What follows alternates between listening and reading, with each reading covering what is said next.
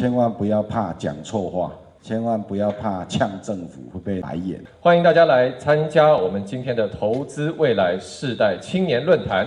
谢谢大家所有人与会的出席与参与，谢谢大家。青年国事会议，我记得我那一次参加的会议是在花莲，啊，不是那个高雄的莲池潭。后来去阳明山上国民大会，当时的那个主委就是郑丽君。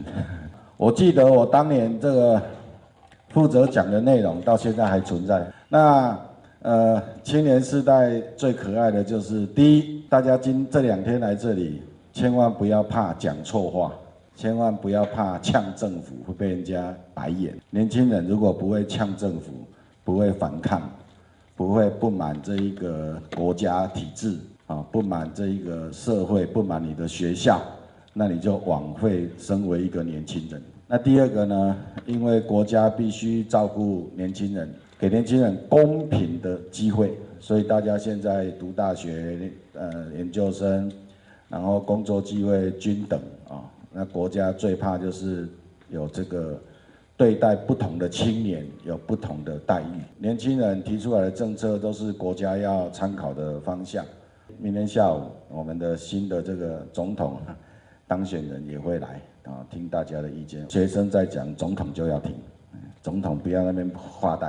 哎，所以明天也鼓励大家勇敢的跟我们的新总统讲出各位的心声。让我们投资未来世代这个活动能够顺利圆满成功。在我们今天为期两天的这个论坛里面呢，事实上是希望可以一起用既严肃又轻松的方式来找出我们呃的未来。因为其实，在选举过后，其实大家有某一种程度的社会焦虑，不管是青年意见的分歧，或者是呃我们对未来的。局势变动的不确定性，其实这些事情都呃，让我们在思考台湾未来怎么走，跟我们怎么跟国际连接有很多的呃不同的可能性。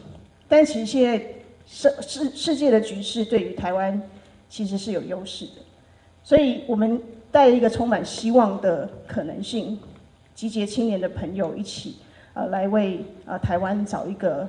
更多的机会，还有更多的呃未来。现在在社群时代，资讯的来源可能会影响你的判断以及你的思想。一起去思考跟挖掘问题，找出解决的方法，这个过程非常的重要。